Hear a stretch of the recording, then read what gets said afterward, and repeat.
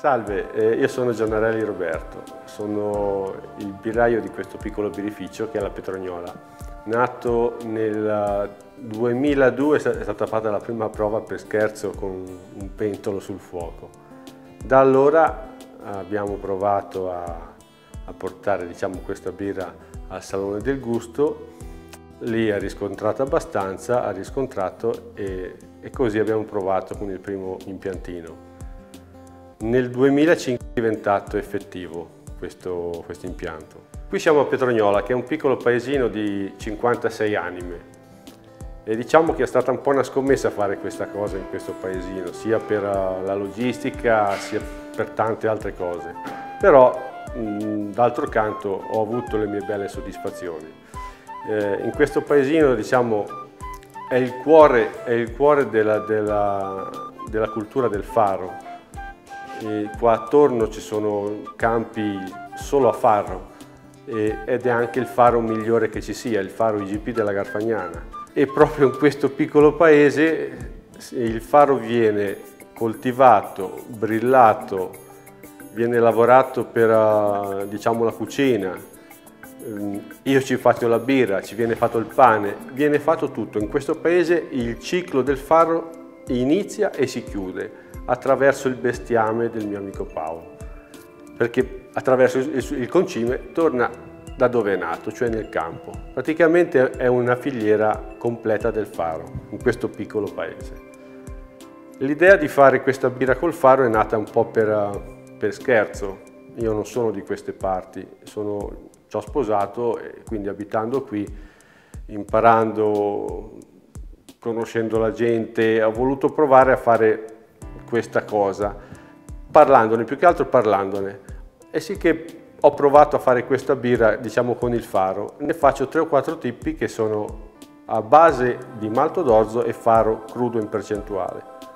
Ma ultimamente, da un paio d'anni a questa parte, ne ho fatta una molto particolare, che è 100% faro, cioè l'unico cereale che adopero è faro, faro maltato, che mi faccio maltare da, da solo da una piccola malteria in Germania.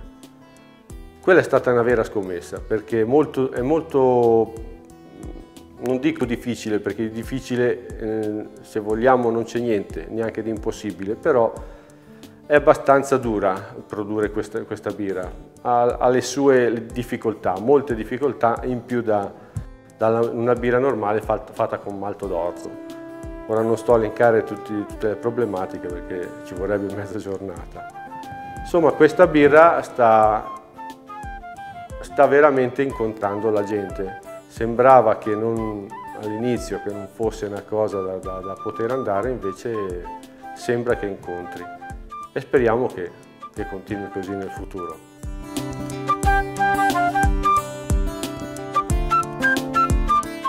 E Qui siamo nel piccolo, come ho già detto, nel piccolo birrificio, abbiamo un, una macchina austriaca per fare la birra.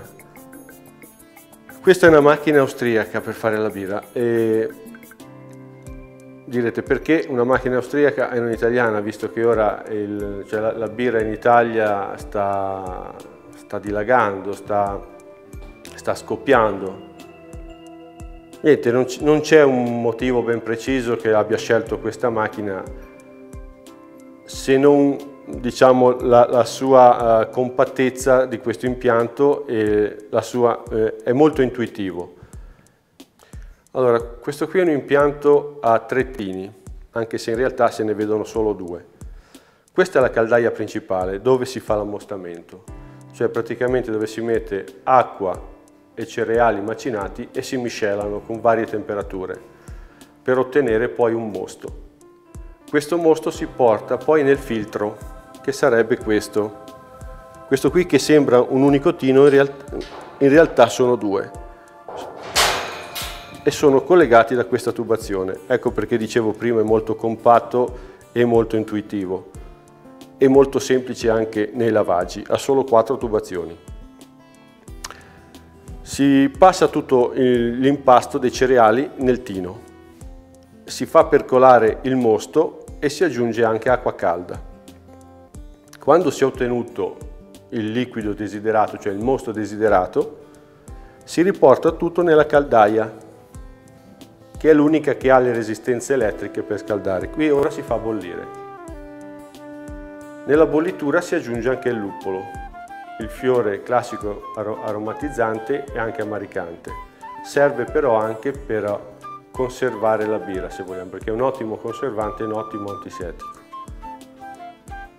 Finita la bollitura si riporta nel tino di sotto, in questa parte, che si chiama Whirlpool, dall'inglese mulinello, perché il mosto viene poi sparato alla massima velocità della pompa, in modo che prenda un moto vorticoso, tutte le proteine che si sono formate nella bollitura e le farine di luppolo si possano concentrare sul fondo, in modo che noi dopo, successivamente, Andiamo a prelevare da questa valvola con la tubazione la pompa esterna e passiamo lo scambiatore di calore. È semplicemente uno scambiatore ad acqua. Praticamente qui arriva mosto caldo, qui entra acqua fredda, da qua uscirà mosto freddo e praticamente da qui uscirà acqua calda che io vado a recuperare qua dentro e dopo mi servirà per i lavaggi, l'acqua calda. Dallo scambiatore si passa al fermentatore. Quando il fermentatore è pieno, cioè ultimato tutto il travaso, si aggiungono i lieviti e si lascia fermentare per qualche giorno, 10-12 giorni circa. Una fase è la fermentazione e una fase è la decantazione dei lieviti in, in questi giorni, nell'arco di questi giorni.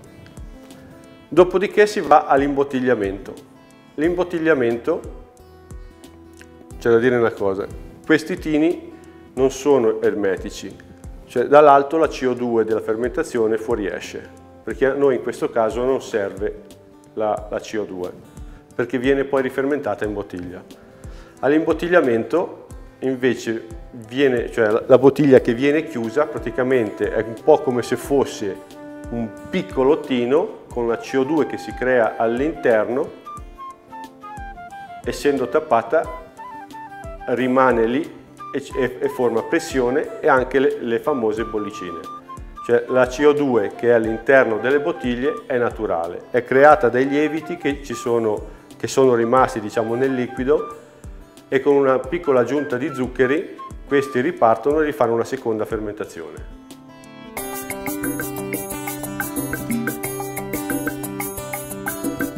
Questa qui è l'ambrata al farro, è la prima nata, a 5 gradi e mezzo volume, è abbastanza, non, non è proprio dolciastra ma ha una punta di dolce. Si abbina bene al prosciutto oh, bazzone della Garfagnana, che ha un gusto un po' particolare. E poi anche con altri salumi e formaggi delicati però con le zuppe, le minestre e si beve bene anche da sola. È disponibile in due formati, 33cl e 66cl. Questa qui, che è la nera al farro, segue la stessa, la, eh, diciamo, lo stesso stile poi più o meno di tutte, è molto più corposa, a 7 gradi, questa si abbina bene con salumi più forti, tipo il prosciutto di cinta senese, se vogliamo, e formaggi un pochino più sostanziosi. E va bene anche con stufati e carni rosse. Questa qui è una delle ultime nate, è la Sandy, dedicata interamente a mia figlia. Il suo nome, il suo gatto il colore dei suoi capelli e spero di averci preso un po' anche col carattere. non lo so. Dovrebbe essere abbastanza dolce ma decisa nello stesso tempo perché a 7 gradi anche questa.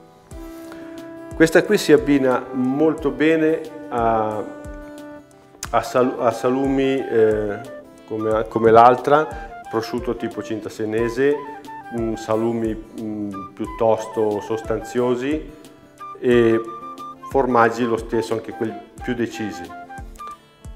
Però va bene anche da sola. Questa qui è mol, molto da, da divano da meditazione se vogliamo.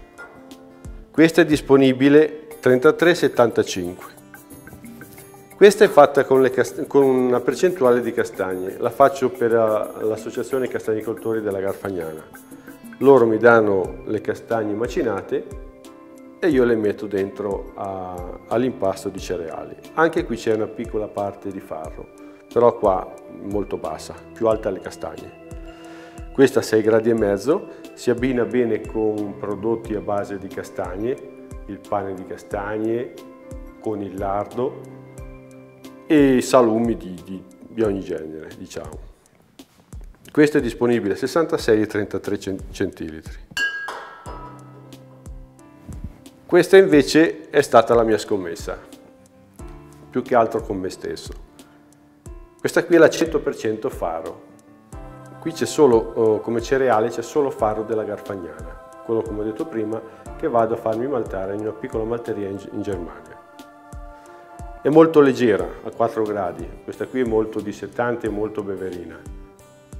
Anche piuttosto amarognola, una cosa voluta questa, perché deve dissettare di più. D'estate, bella fresca, questa qui si, si, beve, si, si beve tranquillamente da sola come aperitivo con il pesce, con cose leggere, ma più che altro va bene da sola. A me piace più da sola, è, è da berne tanta, almeno si spera, si fa per quello. E, è disponibile 33 e 75 centilitri anche questa, come, come la Sandy.